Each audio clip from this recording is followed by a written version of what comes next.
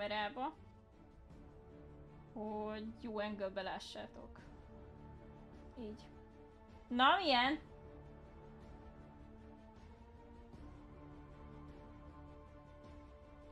Visszaadja Kratoszt? Nektek Kratos jut eszetekbe róla? Szerintem kész vagyok. Úgyhogy legyetek jók, találkozunk holnap délelőtt. Sziasztok, Pepes!